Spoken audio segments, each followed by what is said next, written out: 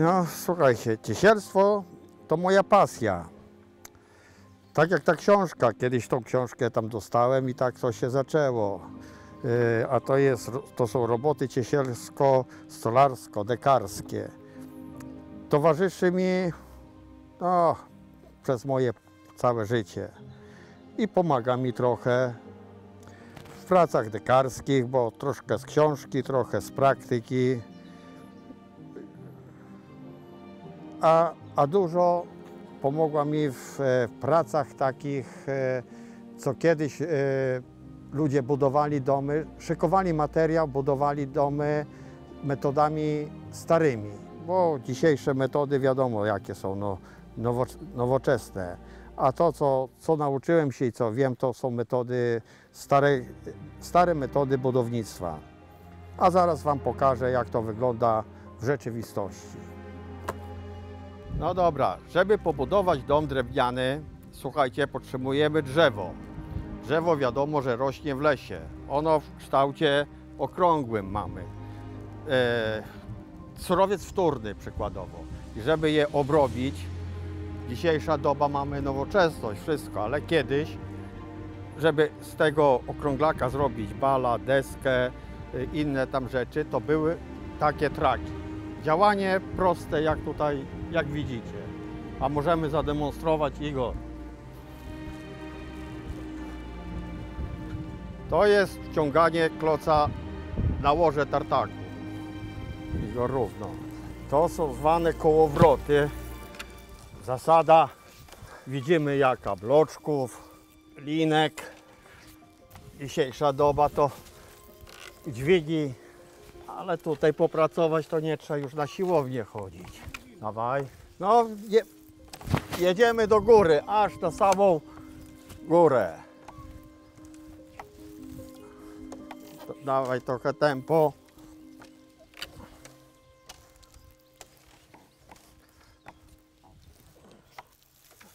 I zaraz będzie na górze, będzie następna czynność. O, ja daj ty troszeczkę. Przyspiesz. Tu można różne regulacje robić. To nawet dzisiejsza nowoczesność takiej nie ma regulacji jak tu. Dobra.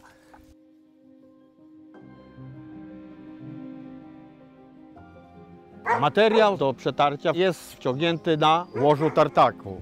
Teraz, żeby to było y, przecierane piłą, to musi być ustawione jeszcze oczywiście te krzewizny, to wszystko. Do tego służy takie narzędzie. Zakładamy takie narzędzie.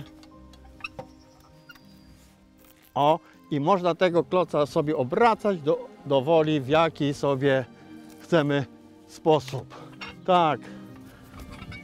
Może być. Na przykładzie ustawiam już do przecierania. O tak będzie chyba najprościejszy. O i to materiał jest gotowy do przetarcia. O i przesuń. Dobra, dobra. Do kloca dosuwasz. O. Daj no kombinerki czy coś odkręcim, zepniem, bo bardzo proste y, blokadę to się robi w ten sposób. A tu bierze się kołek, tylko minuta, bo się musimy zaczepić to jakoś. To jest blokada, żeby ten kloc podczas cięcia, bo musimy cały czas w pionie jedną linię ciąć, żeby wchodząc po nim ciąć, żeby on nie, nie, nie obrócił się dla nas. To jest po to ta blokada. Igor, chodź tego kołka włożymy. Tu i tu i proszę pana, już mamy blokadę. Jakby za słaba była blokada, to tu się jeszcze można owiesić odważnik i o to za, tak zaciśnie, że tego nikt nie ruszy. To drzewo jest już gotowe do przecierania. Leży zabezpieczone, uwiązane, że się nie obróci.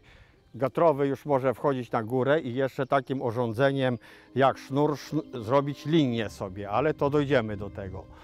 Teraz potrzebujemy minimum trzy osoby.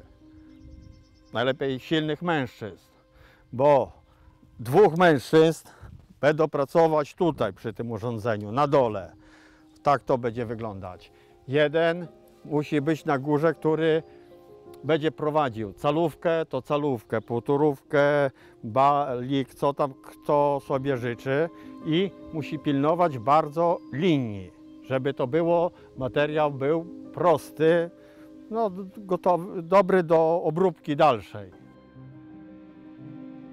Do przetarcia kloca takiej objętości y, potrzebuje dwie osoby może to zrobić, bo jeżeli kloce są bardziej grubsze, no to potrzebujemy trzy osoby. Tutaj dół musi być na dole dwie osoby, bo no, chodzi o obciążenia tego. Tego kloca przetniemy we dwóch. Y, na górze ten, co prowadzi y, piłę, on rządzi. Nazywa się gatrowy. A tutaj to silnik. Gatrowy, jedziemy. I raz, i dwa, i trzy, i cztery.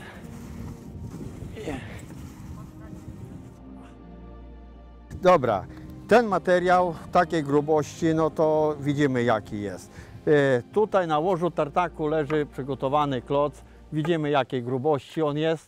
No to coś w wymiarach tego e, mówimy o grubości. Ale już jak położymy takiego kloca, no to wiadomo z tego kloca już będą inny będzie materiał, taki sam, tylko że o, mówimy o takich grubościach już, a nawet są nie jeszcze grubsze. O, i to jest o przyrównanie przykładowo. O, takie będą baliki. I z tych balików, z tego balika przykładowo potrzebujemy takich klepek kątowych. Z tego balika wytniemy przykładowo 15, tak o się wytnie, no a z takiego to już 30. Chodzi o wydajność też. Y, y, patrzymy na to. Dobra, tutaj to, co do tej pory widzieliśmy, to jest metoda stara. To kiedyś tak ro, y, robiliśmy te gonty, nie tylko gonty, ogólna taka budownictwo było, że na takie traki, roboty ręczne. Dzisiejsza mechanizacja jest, to, to jest inna sprawa, a dzisiaj pokażemy etap ręcznej pracy człowieka i mamy takie bale, przechodzimy do następnego stanowiska, na którym będziemy y, wyrabiać długości takich listewek. Teraz kładziemy na następne urządzenie. Materiał układamy Igor miarkę.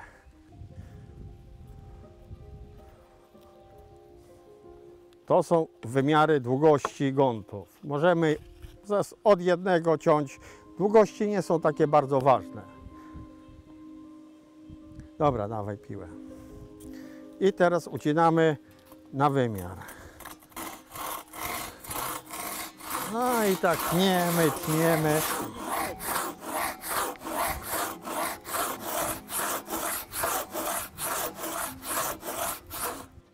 Po przecięciu wzdłużnym na tartaku, po przecięciu poprzecznym piłą ręczną, w których dwie osoby cały czas musiało być, no to teraz to jest miara każdego gontu. Wyszły takie dla nas baliki. Długość się zgadza, wszystko.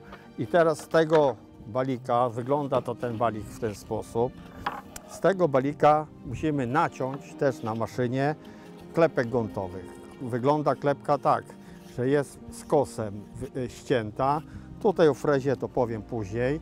Dlatego tym skosem musi być cięta, że następny gąt wchodzi, taki zwany powstaje zamek. Służy do spływu wody, szczelności, to wszystko. No i oczywiście wiadomo, że drzewo pracuje. Jakby to było tylko tak złożone, deszcz, słońce, to te klepki by o tak po prostu chodziły. A jeżeli one są wciśnięte, powstaje jedna połać. I w ten czas jedna deska, tak jakby e, klepka trzyma drugą klepkę. Na razie potniemy w takie, e, takie listewki.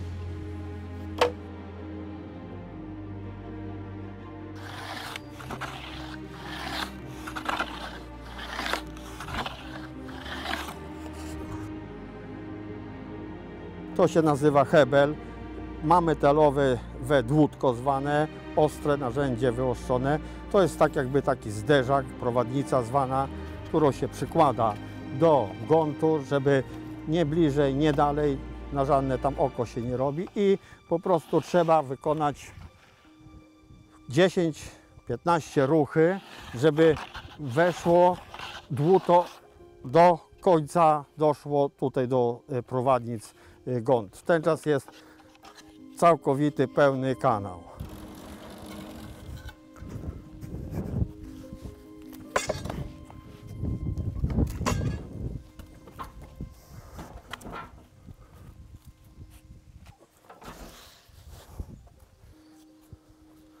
Napnij i łapki zapinaj.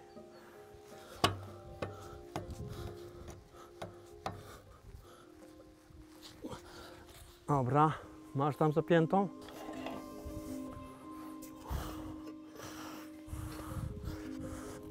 Włącz, włącz prąd.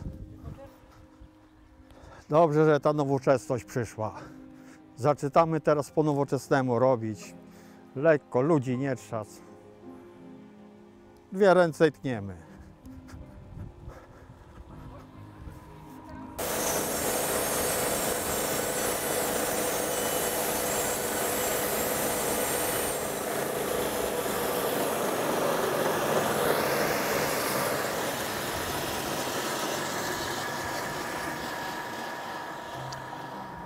Przecięcie jednego sznita ile trwało?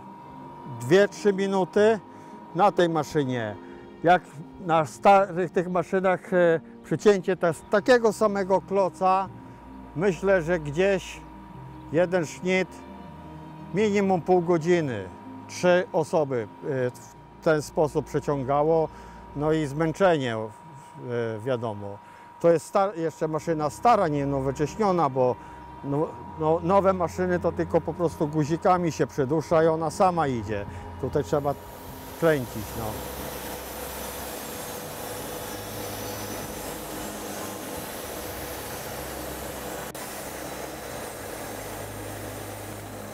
Na czym polega krycie gątem? Gątem kryjemy, bo e, jest krycie gątem pojedyncze i podwójne. Podwójne krycie jest bardziej e, no, lepsze, efektywne, bo zasada, że e, jak nakryjemy, to tak jakby dwie dyseczki kryjące e, jedna na drugą e, jej, a pojedyncze to wiadomo tylko jedna. I żeby zacząć krycie, startujemy z połowy gątu. To jest połówki gątu i zaraz tutaj przybijemy. O, i już następny, daj Igor, to jest cały gąt. I następny już idzie cały, tylko że aż na to połówkę zakrywa. O, o, i na przemian, żeby te składy gątów nie, nie trafił jeden na drugi, tylko zawsze musi się mijać. Że jak woda ścieknie z tego, to nie w ten, tylko na środek następnej listy, listewki gątowej. I tak cały czas. Zaraz pokażemy, troszeczkę przybijemy, to będzie wszystko to widać. Zaczęliśmy krycie gątem. Mamy zwany pierwszy start. To start to jest tak, z całej listewki przecinamy na wpół i mamy dwa zwane gąty. Dlatego połówka musi iść, że następny idzie cały, który pół zakrywa, tu już jest podwójne krycie, tu na razie pojedyncze, ale jak pójdzie drugi gąt, o, to już tu znowu wychodzi podwójne krycie, a to jest zakład taki y, na ten. Y, Dzisiaj przyłapiemy ich maszyną, bo kiedyś to te, te, te gąty przybijało się takimi gwoździami zwanymi gontalami. Zaraz powiem jeszcze o przybijaniu, jak to wygląda. Przybijamy do tej łaty i przybijamy zawsze na środku tego gontu, żeby ten skład nigdy nie wychodził na składzie tym. I przybijamy tu góry. Tu góry tak musi być przybite, że jak położymy następną listewkę, to tego przybicia, żeby, żeby te przybicie było nakryte. Nie może wystawać, bo warunki atmosferyczne, on będzie rdzewiał, y, ten będzie brzydko wyglądać. On musi być zawsze zakryty. I teraz ciągniemy przykładowo jeden za drugim. I tu powstaje cały czas podwójne krycie. Wierzchnia tu warstwa to się nazywa osłonowa, dolna warstwa właściwa. I o, ten co mówiłem wcześniej o kanałach, to musi o to wszystko wejść O, to jest taki trochę nie- niedobry, to odrzucamy, a wybieramy ładniejsze. O. I o to jest ten. Przybij teraz tu. Tak. A tutaj bij górę łaty, żeby nie niżej tu, żeby te guziki nie były widoczne. Dobra. No i dawaj gąty i idziemy do góry. Kryje się w ten sposób, że nie od dołu do góry, tylko trzeba rządkami do końca dachu i następny rządek i następny y, krycie poziome zwane. A teraz idziemy do góry też. y, o tak. I znowu tutaj patrzymy ważne, tak. Tu jest środek, o. I tu do końca łaty, tu żeby zakryło tylko gwóździki, a tu trzymamy linię przybitego. I tu. Dobra, dawaj gąty. I znowu parę. To już by, jeżeli na długość idziemy, to idziemy całym rządkiem do końca dachu i dopiero z powrotem. I przybij znowu tu, tu. Widzicie, że tak, powstaje ząbek też. Ząbek ten ni- nigdy nie zgrywa się z tym, a te listewki zawsze nakrywają gwoździa, szywkę, że tego na dachu nie widać. I mówię, nie rdzewieje, nie ten, przyszyj jeszcze te, to jeszcze położymy z... Tutaj daj. Dobra. O i znowu y, następny rząd. Łaty trzeba po, rozste, odstęp od łaty do łaty pobić wymiarowo też, bo to jest bardzo ważne. O i tutaj znowu jest. O, przybij ją. Ważne jest też o te złącza, żeby nie równały. Każdy rządek, o, te już przeskakuje znowu tutaj. Daj jeszcze jednego, mniej więcej nie położę. O, nie przeszyta. O, przyszyj te dwa. O, o. No i tak, tak do góry, a mówię, kryje się w linii poziomej. Cały rządek na przykładzie do końca tego dachu i później następny i następny, nie pionowe krycie.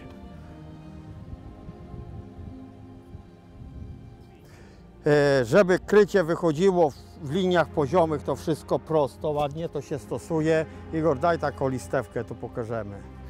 No ta, takie coś, tylko długą taką, gąd przykręca się dwoma wkrętami, przyszpila się tutaj.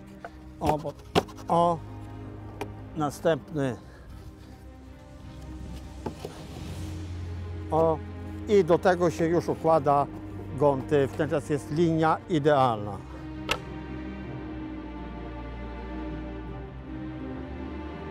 No, jesteśmy tutaj na placu Sabierzy- Sapieszyńskich. Ten budynek jest nakryty gątem drewnianym. No, wracamy tak jakby do nakryć e, naturalnych. E, Tutaj na naszych terenach jest, e, słomo się nie, raczej nie kryje, ale przykładowo tego budynku to jest drewnia, drewniany, pokrycie drewniane, trwałość może mniejsza niż dzisiejszych tych nowoczesnych blach, blachodachówek czy tego, ale to jest natura, drzewo, ekologia. E, No idziemy chyba w tym kierunku.